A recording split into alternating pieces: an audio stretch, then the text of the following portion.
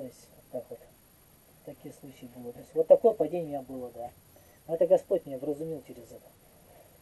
Ну и сразу, сразу поехал назад. Все, я здесь уже. Вот. И, ну, на Урале-то недолго. Год всего, год. Год. Вот, да. Я там работал сторожем у Володи Пищикова, как раз в его фирме, где вот он работал. Этим, э, он тогда был технический директор по этим рефрижератору, он ремонтировал холодильные установки, машина больших грузовых. Там как раз э, место освободилось, э, один у них мужчина пил постоянно запоями, его уволили, вот меня взяли за место его. Я там год проработал. Да, это страшно, конечно, оказаться, когда нарушаешь волю Божию во всем.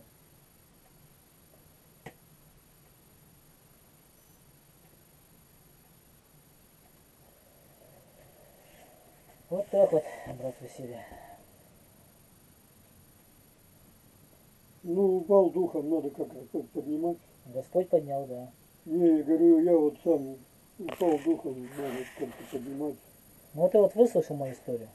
У меня намного тяжелее было падение. То есть, не знаю, как у тебя в духовном плане, а у меня именно вот это. Я сейчас всем другим людям об этом говорю. Почему? Потому что это урок. То есть Бога нельзя оставлять ни в коем случае. Упал, вставай. Иоанн Златоуст говорит, если упал, вставай заново. То есть э, тут надо очень бояться этого. Видишь, я постоянно охладевал постепенно. То есть тут, э, говорится, не пободрствовал, тут роптал. То есть у меня ропот был еще внутри. Я хоть и потом говорю, что я вроде не роптал, а на самом деле был ропот, да. Я, то есть, недоволен был тем, что меня обличают все время там. Иначе он наставлял меня. Братья там. Наша гордость, гордыня, кажется, не дает. Нам же охота на идти, я хотел идти благовествовать, а мне не какое-то тут смирение, послушание, так, ну не зачем это все. Ну и к чему это привело, говорится. Сатана-то еще упал из-за гордости, возгордился, что я хочу такой же, как бы он. Почему Господь попустит ему, когда придет Антихрист, сатана, вот, в образе Антихриста, он человек греха, который придет. Господь через это покажет, что он же тоже пи- написано в книге Откровения, он сядет в храме как Бог, выдавая себя за Бога. То есть вот так вот он, то есть возгордился. Все вот сектанты и протестанты, они вот именно э, в этом отношении грешат против Бога. Тем, что своей гордостью. То есть им не надо никакое священство, ничего им не надо. Я сам по себе.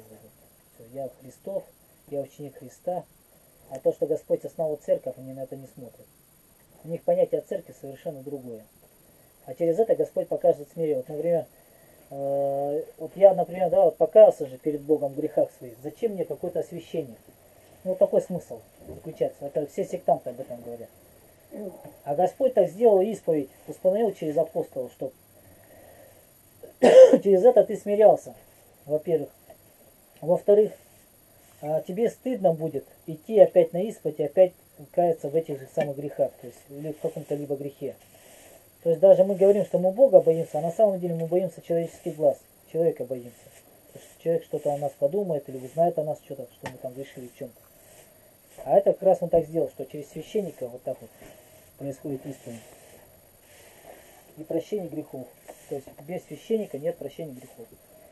Как Господь установил, власть ему такую дал. Он говорит, кому простите, тому простятся. На ком оставите, на том останутся грехи. Вот так вот. Влади- Владимир, у вас это лишней иконки не будет? Господу Иисуса Христа. Да найдем? Найдете? Ну, конечно, найдем. Я говорю, тебе надо... Или... А, распятие вот у тебя есть как раз. Она распятие у тебя хорошее. Пойдет. Да пойдет что.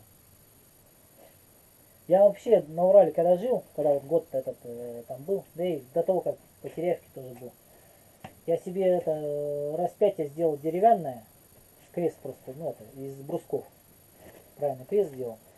Вот, а потом э, я нашел, мне принес один мужчина, он ходил по этим, по всяким, как они называются, ну вот эти помойки эти большие, которые свалки называются.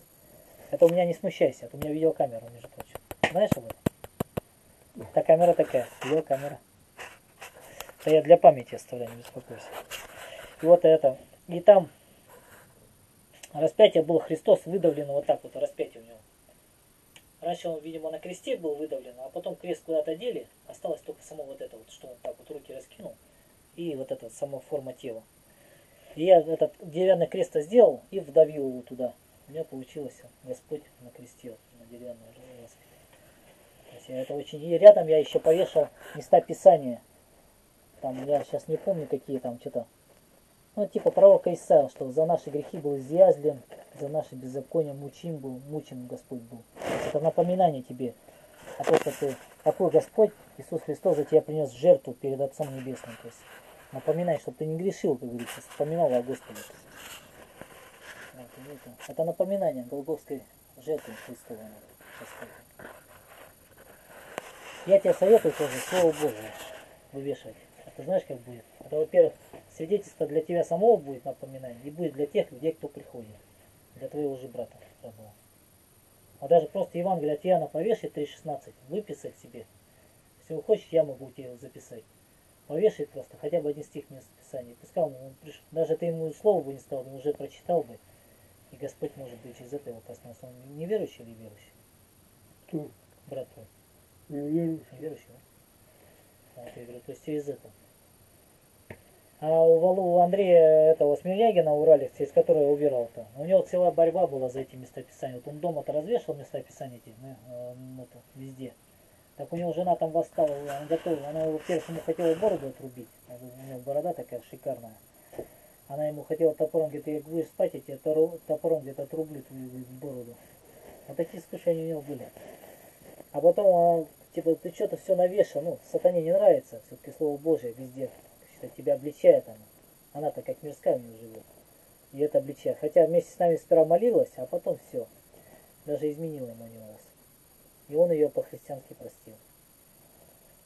Он бы мог бы ее не простить вообще, ну как сказать, расстаться с ней, просто развестись. Просто. Потому что э, в Евангелии Господь говорит... Это в нашей общине. Нет, он, он с Урала, с Урала. Но он в нашей Урал, общине. Но состоят они в нашей общине. Они бачки писали заявление, чтобы нашей общине состоять. Но сейчас он там на Урале трудится, и там другому священнику ходит, исповедует и причащается, Андрей. То есть он там, он там занятия ведет по словам Божьим с людьми, то есть, ну это. Он молодец, он, он, он характер как иначе, он, он такой ревностный, трудолюбивый. То есть э, я вот с ним, мне Господь вот таких именно учителей дал. То есть Андрея Смелягина сперва, он меня приучил к раннему вставанию тоже. Ну, он в 4.40 не встал, он чуть попозже вставал. Вот, часов там 5 или в шестом часу вставал. Вот, и я тоже. Ну, вот, и самое главное, что Господь мне через него дал любовь к Слову Божьему. То есть я так любил Слово Божие тоже. И все время дома там плакаты вы- выписывал, записывал. Во-первых, лишний раз взглянул, раз прочитал. То есть это тебе бальзам для души твоей. Потому что Слово Божие бывает суета вот это, а тут у тебя уже напоминание висит у тебя перед глазами. То есть не вот эти вот картинки вешать, вон, видишь, вот это все, это, все, вот это безбожие. вот До это. этого осталось от, от, Да, то есть, от, от старого да. хозяина. А вот именно, чтобы у тебя божественно было, не только иконки, а вот именно Слово Божие. Потому что, э, где же там написано, Псалом 137, я сейчас пытаюсь найти его. Второй стих. Сейчас. А, давай помолимся за стола. я беру сейчас. Благодарим Тебя, Христе Боже наш, что напитал Ты земными благами. Не лиши даже небесных Твоих благ. Но как посреди учеников пришел, Ты принес мир, так приди к нам и спаси нас. Благодарим Тебя, Господи, за это братское общение. Помоги брату Василию, Господи, подняться духовно, возгореться любовью к Тебе. Вспомнить эту первую любовь, если он имел к Тебе, Господи. Чтобы он также вникнул в закон Твой совершенно, в заповеди Ты святые, исполнил их, живя здесь на земле. Помоги и мне, Господи, исполнить так же, я не ослабел духовно. Чтобы он восстал, Господи, чтобы он исповедовал перед лицом Твоим грехи свои, воспрянул и другим понес Слово Божие. Твое евангельское слово, через которое, Господи, воскрешает новые души. Как и Ты нас в свое время нашел, послав нам на встрече проповедников Слова Твоего. Не оставь нас, Господи, не покинь нас. Прости нас по великой Твоей милости и долготерпению Твоему, Господи. Ты благ, Ты человеколюбивый, Ты много милостивый и все прощающий. Тебе за все хвала, честь и поклонение, Отец, Сын, Святой Дух. Аминь. Если согласен с молитвой, можно сказать аминь. Аминь. Аминь. То есть да будет так, истинно так. Если не согласен, можешь сказать, в чем не согласен. То есть бывает человек может молиться и что-то какую-то ересь сказал. Ты должен. Но здесь надо четко определенно сказать. Ты вот не так-то сказал не по слову Божьему. Э, Ну, у нас в основном братьям, я сколько с братьями молюсь, я молюсь с другими братьями, у нас в основном никто ничего не говорит, потому что все, сами знаешь, Слово Божие изучаем постоянно. То есть не знаем, о чем молиться. То есть вот как ученики пришли к Господу и говорят, Господи, научи нас молиться, как Иоанн, то есть креститель, научил учеников своих молиться. И вот тогда Господь дает как образец, это Отче наш. Это Матфея 6 глава и Луки 11 глава. Это две, два места в Библии, где говорится Отче наш. Матфея это говорится э, более длин- длительная такая Отче наш. А у, этого, у Луки говорится более короткая молитва Отче наш. Вот так вот. Вот почему этот э, царь Давид-то описывает 50-й псалом-то, своего грехопадения-то. Он мог бы это нет. Ну да. Ну тут надо типа подмазать. Вот. Он почему 50 псалом написал? Это все это научение для нас. Помилуй меня, Боже, по великой милости Твоей, и по множеству щедрот Твоих избавь беззакония мои. Много- Многократно омой меня от беззакония моего, от греха моего, очисти меня. Ибо беззаконие мои сознаю, и грех мой всегда передо мной. Вот я тут вот недавно переписывался с одним православным, с Урала. Э, Дима Кузьмин такой есть. э. Я раньше его знал, еще когда были неверующие, вместе работали в лесу с ним. А тут он обратился опять же через Андрея Сменягина, тоже к Богу пришел. Но он, у меня так события сложились, что он начал молиться и Господь его посетил. И вот он тоже спрашивает, как людям говорить о Боге вообще, неверующим. Я говорю, этому не научишь. Места Писания могу сказать, какие можно применять, но ситуация-то разная. Как ты с человеком встретился, где встретился, как ты начал с ним беседу, я же этого ничего не знаешь. Это Дух Святой тебя видел, Господь, то есть положит тебе на сердце, как что где сказать. Даже бывает, порой ничего не думаешь, а раз и Господь дает тебе сказать. Он говорит, я иногда, говорит, слово не могу связать, а иногда, говорит, как польется из меня, божественное. Так это потому, что Дух Святой действует. Потому что бывает, вот заучиваешь, заучиваешь, а раз, а уста закрыты. У меня такой случай был, я в поезде ехал как-то, еду, ну и напротив меня, смотрю, мужчина сидит. Ну такой, знаешь, этот, типа купейный, только открытый, как, как он там называется, плацкартный вагон-то. Мужчина сидит так прямо передо мной, передо мной смотрит, так вот, и тут у него сын. Сын лежит, он ему ногу гладит вот так вот. А я э, Библию достал и читаю, и молюсь про себя, Господи, помоги мне, чтобы человеку-то сказать это Слово Божие-то. Смотрю, уста закрыты, то есть не могу, нет побуждения говорить с ним. Но я тогда помолился, Господи, а что, почему так-то произошло, говорю? Почему ты мне уста не открываешь? Обычно Господь открывает, дает как бы вот с Богом. Богу надо, ишь, вот так вот, даже бывает по-детски разговаривать. Не отче наш читать, а Бог-то живой, Он хочет, чтобы мы также с Ним живую беседу вели. Ты пророки, вот если Библию читаешь, как пророки беседовали с Ним? Вживую. Моисей там взмолился, в руки поднял, Господи, помоги там. Эти египтяне догоняют нас. И Господь тогда дает ему чудо сделать, море раздвинул. И также здесь. И все, я сижу, молюсь в вагоне там.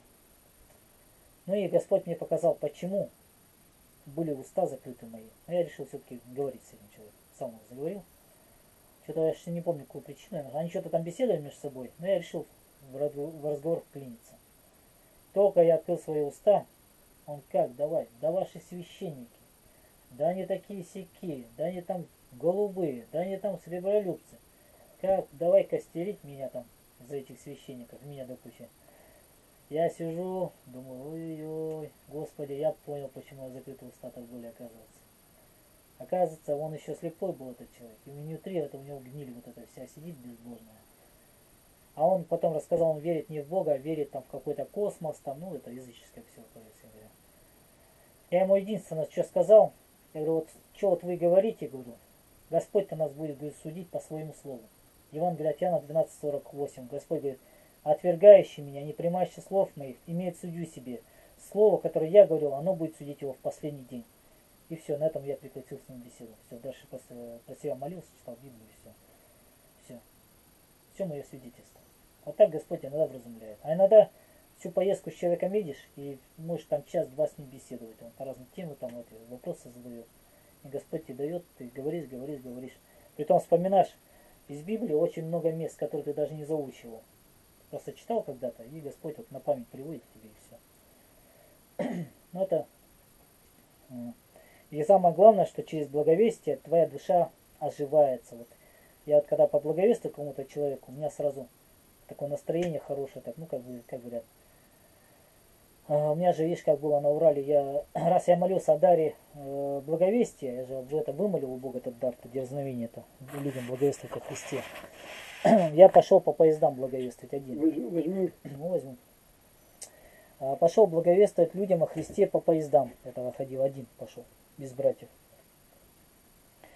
Все, и каждый раз после благовестия по, по, из вагона в вагон я переходил там. Три остановки я проезжал обычно вагонов 5 успел за это время пройти. Вот. Я выходил с поезда, и у меня такое ощущение, что у меня душа сейчас взлетит в небо. Вот, то есть вот такое парящее состояние души было. Думаю, если бы не это тленное, бренное тело мое, я бы в небеса был, как говорится, вызвал бы Господу. Вот такое. И в этот момент охота умереть просто-напросто. Дальше вот эта тленная жизнь, вот эта греховная, тебя опять не погрузила в это, как говорится, ну как сказать, от Бога, не, не от не отодвинул, одним словом. вот так вот, брат. На основании Слова Божия. То есть читать и молиться. Читать и молиться. И тогда душа твоя будет оживляться. И тогда у тебя будет искренне... Ну, а ты поднимался, что начал Библию читать? Читать Библию и молиться стал. Своими словами. То есть я, я и утреннее правила вычитывал немножко, но это в основном я молился своими словами всегда. То есть Богу надо наше именно сердце. То есть наши то, что у тебя на сердце лежит, то перед Богом открывай. То есть разговаривай с Богом. Бывает, вот человек, у него что-то не получается, Господи, ну что такое-то вроде, да? Почему не получается? Вот как я случай-то рассказал с этой с пленкой. Ну, а если сильно ослаб вере, как, как подняться? Да как молитва, как еще можно подняться? Вот сейчас твою Господь молитву услышал. Твое внутреннее, вот даже бывает, человек не молится, но внутреннее, он же лишь понимает, что ты духовно упал. И Господь это видит. И он твое внутреннее вот это переживание понимает, что тебе нужна помощь. Вот в данный момент Господь тебе посылает помощь через меня. Вот как в свое время Господь мне послал там, брата Владимира, который меня, когда у меня духовное падение это было на Урале-то, я вот приехал-то. Они же меня братья не оставляли. Там вот э, Володя рассказывал, говорит, Андрей вообще хотел со мной резко вроде как порвать из-за того, что я сбежал. А Володя ко мне снисходительно отнесся. То есть он со мной трудился, вместе молились, он как бы мне старался поддержать. То есть не оттолкнул, что типа, раз ты убежал, пошел вон отсюда, зачем ты нам такой нужен? Я же через них обратился, через их братьев. Он меня поддержал, то есть он видел мое состояние духовное и молился за меня, и Господь меня восставил. Ну, плюс братья молились, конечно, здесь тоже. Но для этого человек должен сам подвижки делать, то есть стремиться к общению с братьями, сестрами, читать Слово Божие и молиться, то есть заставлять себя. Утром встаешь, неохота, заставь себя. Стань на молитву, и помолись, хотя бы кратко, своими словами помолись, Господи, помоги мне там. Поблагодари Господа за ночь прошедшую, то есть э, возьми и открой Библию, раз ты зрение, думаю, у тебя зрение плохо, не зрение раз хорошее, открой, по у тебя особенно с толкованием Ну, если своими словами не могу, из А как? А как? Ну вот, вот ты со мной сейчас стоишь, разговариваешь же. Ну, своими словами молиться не могу. Но Бог-то рядом, Он живой, Он слышит. Он же не на иконе Бог-то находится. Он всюду везде присутствующий. Где бы ты ни находился, вот тут вышел во двор, ты уже можешь молиться. Господи, благодарю Тебя за этот снег. Благодарю Тебя, Господи, что вот этот глаз не может насытиться Твоей природой, вот этой красотой. Даже просто в зимнее время посмотришь, и то какая красота у Бога. Особенно вот это узорчатые, вот эти стекла всякие становятся. Даже Господь так делает, интересно. Как будто художник какой-то нарисовал. То есть, ну, просто ходи и разговаривай с Богом. Вот читаем, вот мы же Библию, там для чего вот этот Господь-то эти оставил примеры, это все библейские. Ты смотри, как Авраам беседовал с Богом. Он просто выходил и беседовал. На ночное небо вышел, с ним беседовал. И Господь говорит, твое потомство будет как звездное небо. Как звезды вот на небе, так твое потомство будет безмерно большое. Как песок морей. То есть он объяснял, что настолько тебя благословлю, что твое потомство будет намного такое большое. Потому что начало веры это пошло от Авраама. Он веру первый принял, поверил Богу, И написано, это вменилось ему в праведность. Аврааму вменилось в праведность. И когда апостол Павел в своих посланиях пишет в Новом Завете, он э, доказывает иудеям того времени, э, что они Христа-то не принимали. Он говорит, они все, э, на чем основывалась их вера, на законе, то есть исполнение заповеди Божьей. Беспрекословно. Это аминь так и должно быть. Но они, как сказать, вот это вот, э, как надо сказать, как бы четко по правилам живя, они отодвигалась милость по отношению к ближним своим. То есть где нам можно было проявить снисхождение братьям, там, сестру или они по закону судили строго, то есть вплоть до того, что коня побивали и все. А когда блудницу привели ко Христу, по закону должны были ее убить. То есть они ее почему и привели, потому что знали, что как Господь на это отреагирует. А он говорит, кто из вас э, это, не имеет греха, бросит первый в нее камень. Все, и написано, они, обличаемы совестью, побросали камень и ушли все. Он говорит, и я тебе, говорит, мне это не сужу. Он говорит, это, э, иди прощаются грехи твои. То есть он внутренне уже видел состояние этой женщины, что она раскаивалась в том, что она творила э, вот это с другими мужчинами.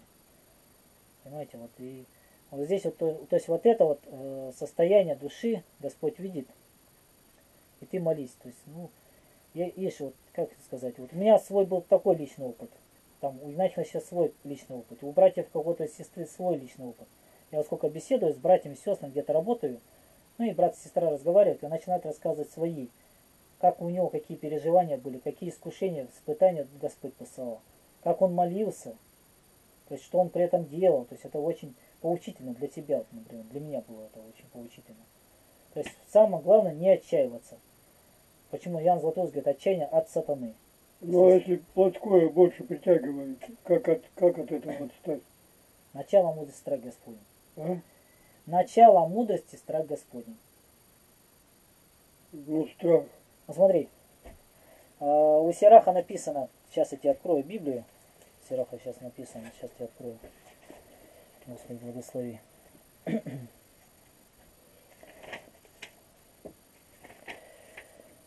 Сираха, Сираха, Сираха. Если больше плотского, так как-то страх Божий не чувствуется.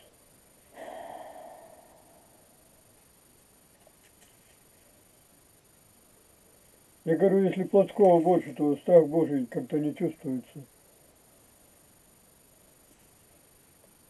А как поиметь страх Бо- Божий? Выпросить у него. Как пойми? У Сираха так сказано, помни о конце дней своих и вовек не согрешишь. То есть почему о конце дней своих? О том, что ты умрешь. А там впереди что? Суд Божий. Если ты не жил по заповедям Божиим, был теплохладен по отношению к Богу, ближним своим, где твоя, где твоя участь будет? Где? Только в аду. Все. Вот этот страх Божий это и есть. Помни о конце дней своих вовек не согрешишь. Почему? А, Апостол Павел пишет, ибо всем нам должно явиться перед судилище Христово, чтобы каждому платить соответственно тому, что он делал, живя в теле, доброе или худое. И дальше это еще идет, что надо заповеди исполнять Божие. То есть, например, м, апост, этот, царь Давид говорит, предваряя рассвет на слово твое уповая. Предваряя рассвет, слово предваряя понятно, да? Прежде чем рассветет. Предваряя рассвет. То есть он раньше встал, чем даже рассвело, ну, то есть солнце, еще до, до восхода солнца. На слово твое уповаю. То есть он вникал в заповеди Божьи. Тогда еще, когда, когда были до него эти ветхозаветные эти заповеди, ну это книги, которые он читал Слово Божие. То есть при свече, видимо, там какая свечка какая-то, и лучина у него там была, тогда-то не было. Он уже в Слово Божие вникал. Так что и мы-то тоже, от нас, тут все в нашем желании. То есть за что человек-то будет судим? Не за того, что э, там он что-то делал, а за то, что у тебя свободная воля, которую ты не направил э, на исполнение заповеди Божией. Ты мог бы это все исполнить, если бы молился. Ты мог бы пойти благовествовать, если бы молился. Ты мог бы пойти милостыню человеку подать, если бы молился. Человек бывает, что вот живет, например, говорит, а как мне делать добро? Я вот не знаю, кому делать добро. Кому подойти, какое добро сделать? А ты молишься, вот, например, я на Урале когда жил, иду вот утром встаю, я же тоже один в основном жил-то, как у Верова-то. Встаю утром, э, на молитве почитал правила и своими словами, Господи, помоги мне. Направь мои ноги, стопы мои туда, где я могу засвидетельствовать Слово Твое, Евангелие Твое людям, которые жаждут услышать Слово Твое. И Господь мне по этому